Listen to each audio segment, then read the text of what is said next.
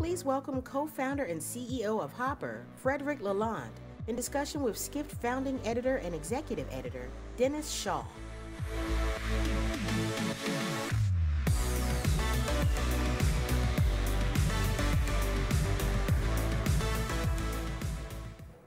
Hello, New York. Hello, interwebs.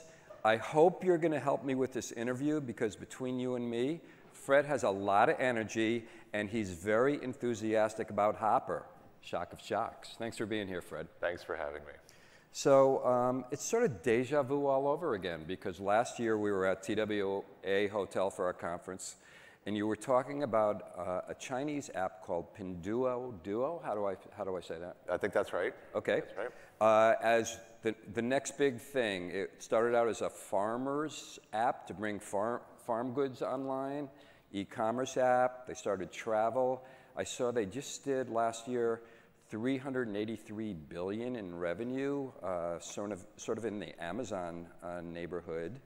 So is China and the East still the center of uh, innovation in travel, or how do you look at it? I think um, Asia, but specifically China, is the center of innovation in digital and commerce and content. I'll use TikTok as an example, Shein recently.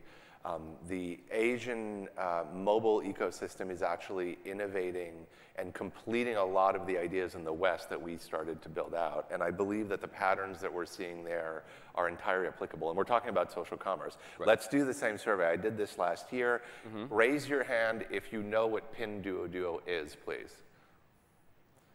Let the record show four hands. Raise your hand if you have it on your phone. same three people. Um, if I did that question in anything, any conference in Asia, people would look at me like I'm crazy. It would be like asking, raise your hand if you know what Facebook is. So there's a huge, huge cleavage between what a lot of these companies are doing out in Asia and what they're doing here um, until they come here and they become TikTok and they become the most watched social media. And so what we're really talking about is the fusion between social and commerce. And the, th the thesis is very simple. We 100% believe this is the future, is consumers in every category, including travel, will agree to engage with digital products on their phone through games and streaks and all these crazy things. Okay, let's in show a screenshot. So what do you have of what you're talking about? Yep. So there we have water the tree to earn rewards. Yep. Okay. Uh, what else we got? We have streaks. Day three done and dusted. Nice work.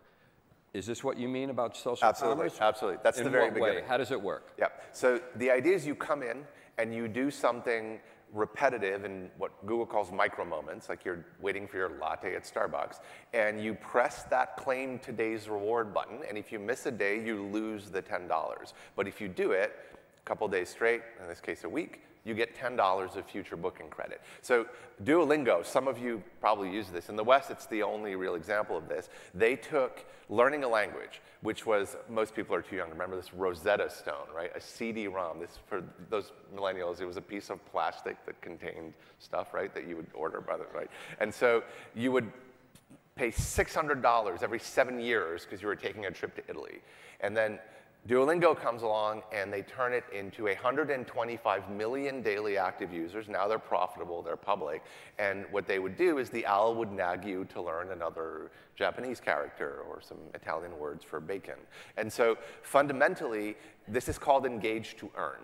So you come in and you do something that you would do anyway. So you water this tree and it grows, and then there's this secret chest that opens up and it contains vouchers and coupons. And this is actually what will replace the established e-commerce players in travel, in my opinion. And there's a whole new generation of people that are going to do this, but what underpins it is that it makes the cost of booking your travel cheaper because you put thing, in the work.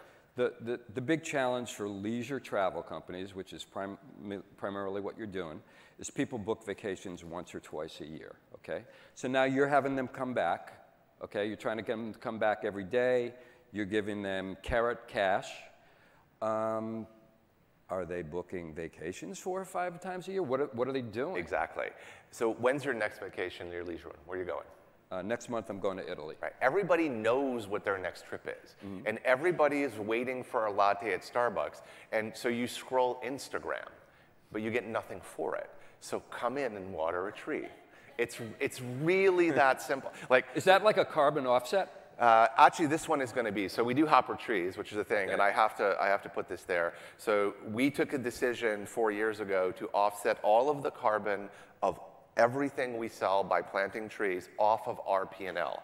You don't have to contribute. We do it. We've planted over 20 million trees. We have spent millions on this, and I've challenged every other travel CTO, CEO, Peter and Glenn, to do the same thing. And so there's a whole thing there that we've been doing, um, and we we send people to Mozambique. I have a picture of a tree on our phone. We're making sure they're growing. It, like we, we have this whole commitment. And this one, what we basically want to do with it is we're also going to accelerate the, that. But what it is is that little chest unlocks and you get stuff. And so we started this process last year. I'll give you an example. It's very, very early. We see people seven times a week when they're doing streaks. Of course, it's a streak, right? It's, and so then what do they do once they're finished streaking? Well, they're in the app, so they start browsing deals. And because they press that button, every single thing got cheaper. So there's a small population that do this. We also have an engage to earn. You can post a story on Instagram with a code, and you can basically earn literally thousands of dollars for your next trip. Right, and we have people that have done that. So fundamentally, we have this subgroup of users that have engaged with this because some, you know, it's like testing and we're trying to figure this out. It's so wild, we don't actually understand what we're doing here. And so that population behaves completely differently than every customer we've ever had there. I want desperately to be the CEO of that company, the one that actually is doing that. Last example, we were notorious for not spending any money on search on AdWords. We still don't do that. Well, I was going to ask you, how does this fit into your marketing strategy? How much do you spend on marketing? Yeah. So, you know, we were spending a couple hundred million dollars like last year. So, first of all, the money was flowing, it was much easier to raise. But moreover, we were heavily invested in social media. Right. Um, and probably a lot of you got some of our stuff. We have an interesting guy in a bunny suit running around on Instagram, all this crazy stuff. But last year, we were TikTok's largest advertiser in the US, not- not just in travel, everywhere. Today, our, our paid spend is almost at zero. We are giving the same money we gave to Mark Zuckerberg and TikTok to our customers in the form of tree watering games. And it is working an order of magnitude better, but at a very small scale. So, we'll So Fred, so somebody tweeted at me yesterday. I was talking to Glenn Fogel of uh, Booking Holdings. Uh, Dennis is trying to get uh, Glenn to take the bait to bash the competition. But you just said social commerce is going to replace all the incumbents. And um, I should point out, you guys now claim to be the number three flight uh, booker uh, in North America. So who are you going to replace? So number one is Expedia, number two is Fareportal, Cheapo Air, and you, you guys now claim to be third. Yeah, so on, on air, um, and this is actually, there's, there's structured data around this Right. um, called MIDT, which is boring. And so we, we are number three in the US. We're probably going to pass, the other ones are, you know, Priceline and Fareportal. So we're probably going to pass those. That's just a mathematical curve of run rate. What really matters, as you know, is the hotel business because that's where you build the loyalty, that's where you can build the share shift. Um, and we are, we are fundamentally working to become a multi-category platform, which we're getting better at. With, we're starting homes and all this other stuff. And so there we're smaller, but if we continue to grow at the rates that we were growing, and especially if any of this social commerce insanity that we, all these blinking bunnies and these things start working out, you could see us compounding easily to be the number three OTA pretty much in every major market. This time last year, um, well, I'll call international, which is While somebody spending nothing on marketing. by, well, spending you know hundreds of millions to our users in marketing, right? Right. Because the growth is organic at that point, but not giving it to a third-party platform is one thing, which is the holy grail. I mean, you know, Dara and P- how many years, right? Do all the CEOs come up here and say we have to spend less on Google? well, right? Peter said uh, last week that the marketing funnel was actually a sieve. Sieve. I buy that. Yeah. That's why we don't do it. Um, and so, anyway, fundamentally, we're probably going to end up being, um, you know, number three. The reason I know this is last year when I was on stage, about 2% of our, of our bookings, of our traffic was international. And that means somebody booking from uh, a location outside of North America. I don't mean a, a, Canadian or an American going to Mexico. I mean somebody in Europe or Asia or Latin America. Today, 20% of our business originates outside of uh, of North America. Right. And those markets are growing faster than the US relative. And you know what's driving that? It's social commerce. In Europe and in Latin America, 20% of our bookings come from social commerce, up from zero. Now, the absolute number is, is puny, even at our current scale. But if you draw that line forward a few years, you end up with a very, very large global social commerce company. So you said that it's all about hotels, right? So um, do the chain, how, how, are you different in working with hotel chains than, than some of the competition? Are you competing against them with the, you know, the carrot cash and the discounting and that kind of thing?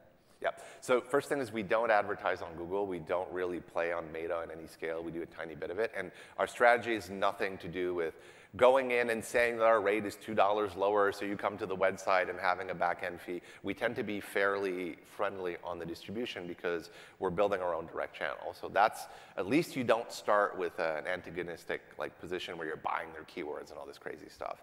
Um, the second part of it is the reason we are able to grow is because of our fintech products. And right. so our global strategy, about yeah, it's very simple is when consumers come to Hopper, they spend an average of $50 more to buy the same travel stuff that they could buy anywhere else. This is new money. Explain to them how that works. Yeah, so you could freeze a hotel room, a price, before it goes up. You can take a non-refundable hotel and make it refundable by Hopper. And so that if you decide not to go, you swipe, your money is back in your account in seconds. You can buy disruption protection. This is one of my favorite ones. You arrive at the airport. So you like all the disruption that's going on? I don't like the disruption, um, but You're I like fan the of fact, airline I like, cancellations. I like Admit it, Fred. I like anxiety. I think anxiety is High a great business anxiety. I love So I was saying to. Glenn yesterday, he wants people to chill. We got your back. It's the connected trip. You want people to have a lot of anxiety. I want people to be worried that the logistics around the trip might not be great, and I want to provide a complete delightful antidote to anything going wrong at a price point that. So you're like a think about. casino. You're betting that the, the, the, price, the price doesn't go up too much. Uh, uh, no, actually, everybody's chipping in five dollars, and if your price goes up, we make you whole. So it's not my money, right? We're not, we're not actually doing that. What we're doing is we're saying, look, um, it's not exactly an all, we're all in this together, but that's how any regulated insurance work. Everybody puts some money down and they buy these products, and sometimes prices go up, sometimes they don't. When they go up, or when your flight is disrupted, I might take $1,000 out of pocket and give it to American Airlines to make up the difference between your ticket. So we have moved tens of millions of dollars a quarter to hotels, to hotel chains, to airlines to compensate for the difference between what the customer decided to purchase and what ended up happening. If so I which, take which, which one of these uh, products are you losing tons of money on? uh, anything new we try blows up in our face. So cancel for any reason at the hotel is a new one. Yep. Uh, uh, you know, you show up to the hotel, oh, it's leave for any reason. So you're losing money on that. on the first couple of months. Now those are actually a year old because they, we test really, really small. So the trick is obviously you release it to a small group, you Right. lose a lot of money on a few people, you figure out what you did wrong, then you scale. If you do it the other way around, that's bad. So you go with a. And you're making like around the world, you're making about 30% of your revenue on these fintech products. Closing on 40 actually.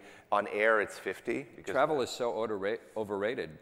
Fintech's where the money is. So basically, anything that you can sell to a customer base that lowers the price, lowers the anxiety, and actually works. And so this is the hard part, right? If you end up and your flight was disrupted, the way the disruption product works is you open the Hopper app, every flight leaving that airport of any airline says zero dollars, you tap, you board.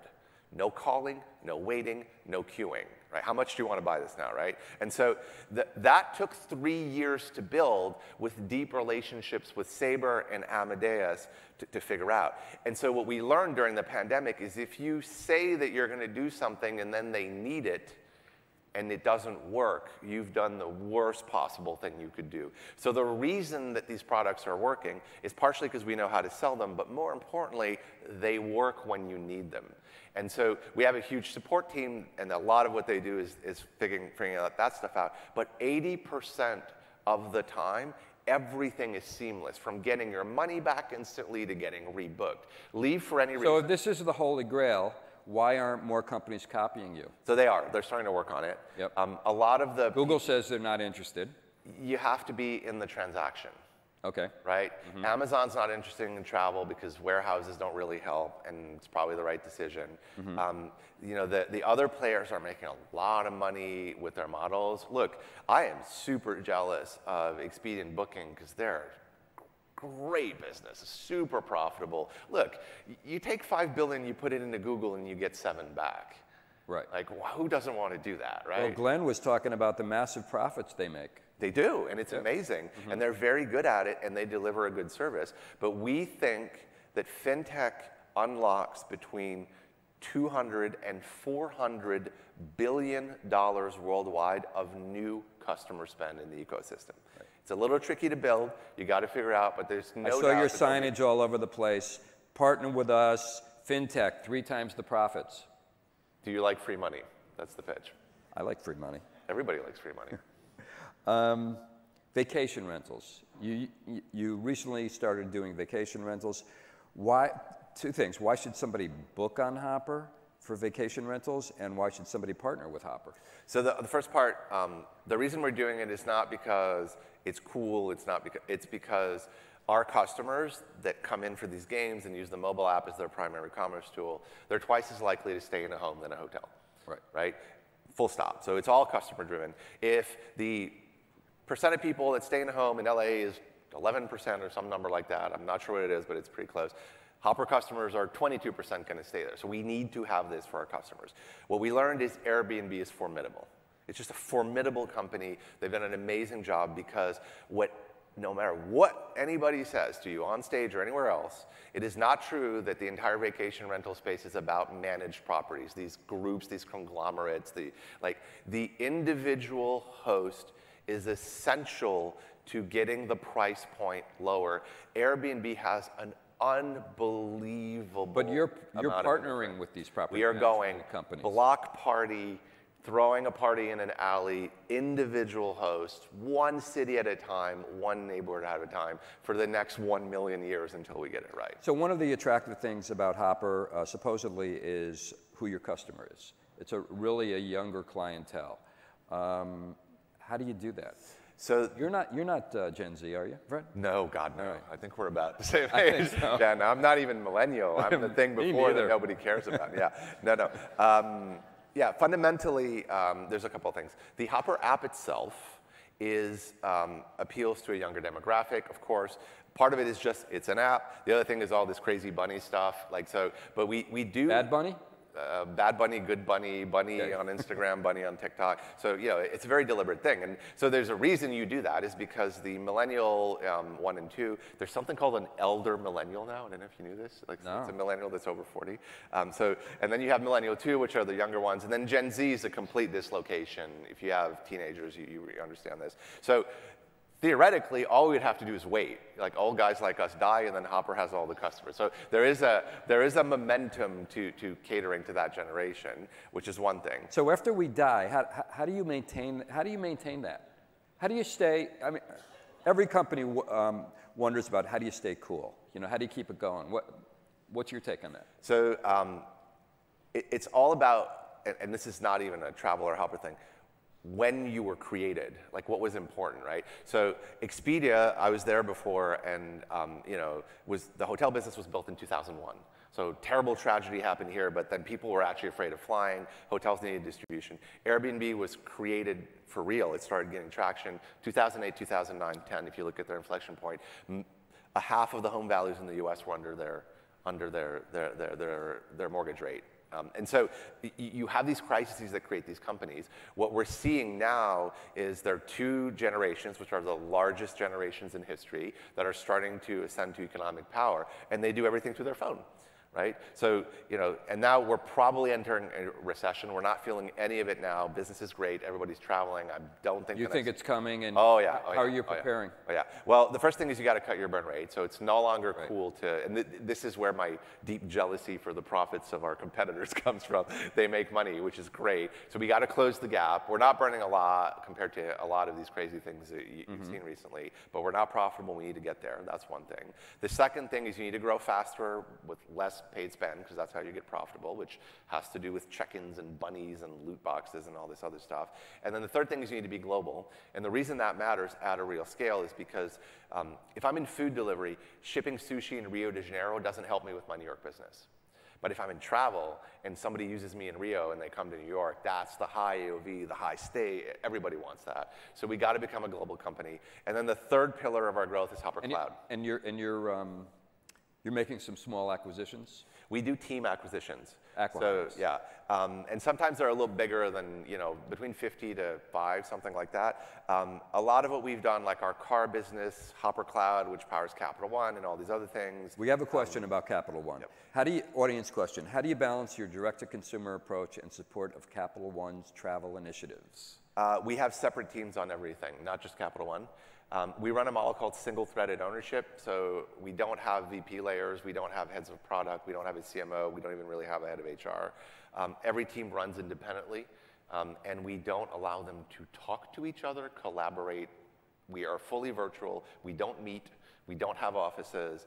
Everybody does the best thing for their customer. And does, does Hopper, the, uh, Capital One, do they have your fintech products? They are rolling some of them out. And what about more- more are vacation rentals? That I would love to get up there. Our product is too crappy right now to put it on Capital One. We need to do the hard work to get it there. Uh, How do you, another audience question, we got 30 seconds. How do you envision a collaboration with a destination? Um, we've been doing a lot of social commerce initiatives.